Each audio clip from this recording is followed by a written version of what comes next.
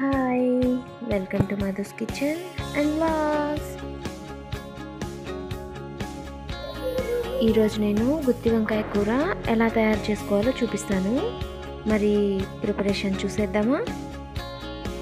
ముందుగా ఒక mixie jar తీసుకుని అందులో ఒక కప్పు వేయించి పెట్టుకున్నటువంటి పీనట్స్ కొబ్బరి పొడి త్రీ స్పూన్స్ పసుపు పావు స్పూన్ కారపొడి one spoon salt one spoon ధనియాల పౌడర్ వన్ స్పూన్ చెక్క రెండు వెల్లుల్లి వచ్చేసి ఒక ఫైవ్ అల్లం కాస్త వేసుకుని వాటర్ కాస్త యాడ్ చేసుకొని మరీ ఎక్కువ వద్దు.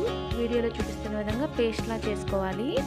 నేను ఫైవ్ హండ్రెడ్ గ్రామ్స్ అంటే హాఫ్ కేజీ చిన్న చిన్నవి తీసుకున్నాను వంకాయలు. ఇవి వీడియోలో చూపిస్తున్న విధంగా ఎగ్ మార్క్ లాగా మనం ఘాటు పెట్టుకోవాలి లోపలికి కట్ చేసుకోవాలి. ఇలా ఈ వంకాయలన్నింటినీ ఘాటు పెట్టేసుకుని పక్కన పెట్టేసుకుందాం. ఇప్పుడు ఒక బౌల్ తీసుకొని అందులో కాస్త వాటర్ యాడ్ చేసుకుని కొంచెం సాల్ట్ వేసుకుని ఈ మనం కట్ చేసి పెట్టుకున్నటువంటి వంకాయలన్నింటినీ ఇందులో వేసుకోవాలి.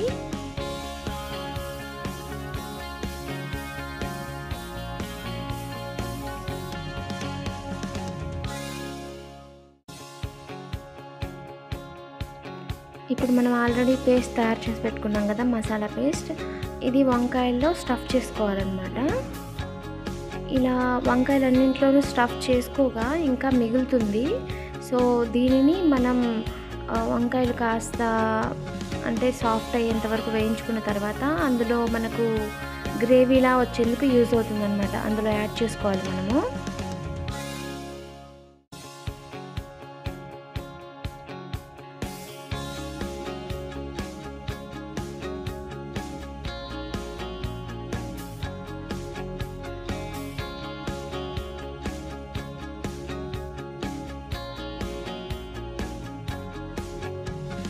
ఈ విధంగా మసాలా అనేది వంకాయల్లోకి స్టఫ్ చేసుకున్న తర్వాత వీటన్నింటిని పక్కన తీసి పెట్టుకోవాలి.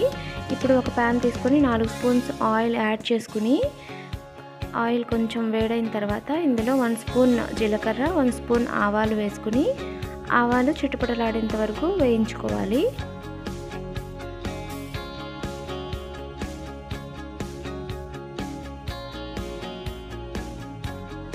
ఇప్పుడు ఇందులో మనం కట్ చేసి పెట్టుకున్నటువంటి ఒక ఉల్లిపాయ ముక్కలను వేసుకొని అవి సాఫ్ట్ అయ్యేంత వరకు జస్ట్ సాఫ్ట్ అయితే సరిపోతుంది బాగా ఫ్రై అవ్వాల్సిన అవసరం లేదు. ఇప్పుడు ఇందులో గ్రీన్ చిల్లీ కూడా అంటే పచ్చిమిరపకాయలు ఒక రెండు సన్నగా కట్ చేసుకొని వేసుకోవాలి. ఇప్పుడు మనం స్టఫ్ చేసి పెట్టుకున్నాం కదా వంకాయలు ఇందులో వీడియోలో చూపిస్తున్న విధంగా ఒక్కొక్కటిగా పెట్టుకుంటూ అన్నీ పెట్టేసుకోవాలి.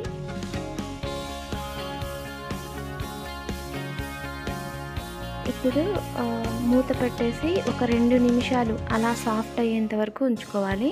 తర్వాత దీనిని మళ్ళీ ఒకవైపు కొంచెం సాఫ్ట్ అయి ఉంటుంది కదా తిప్పి వంకాయలను తిప్పి మళ్ళీ రెండో వైపు కూడా సాఫ్ట్ అయ్యేలాగా వేయించుకోవాలి.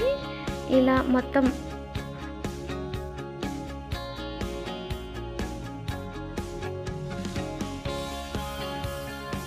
అగైన్ మళ్ళీ మూత పెట్టుకొని ఒక రెండు నిమిషాలు రెండో వైపు కూడా సాఫ్ట్ అయ్యేంత వరకు కుక్ చేసుకోవాలి.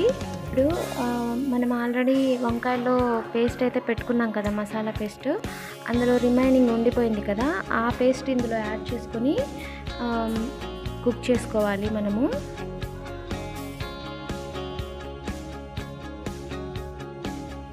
అగైన్ మూత పెట్టి ఒక ఐదు నిమిషాలు మీడియం ఫ్లేమ్ మీద కుక్ చేసుకోవాలి.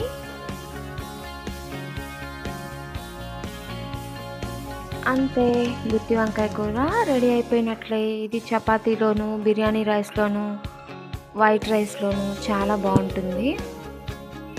నా వీడియో మీకు నచ్చినట్లయితే లైక్ చేసి షేర్ చేసి సబ్స్క్రైబ్ చేయండి. సబ్స్క్రైబ్ చేసిన తర్వాత పక్కనే ఉన్నటువంటి బెల్ ఐకాన్ని ప్రెస్ చేయండి. బెల్ ఐకాన్ని ప్రెస్ చేసినట్లయితే నా నేను ఏ వీడియో చేసినా నా లేటెస్ట్ అప్డేట్స్ అన్నీ మీకు నోటిఫికేషన్ ద్వారా అందుతాయి. Thanks for watching.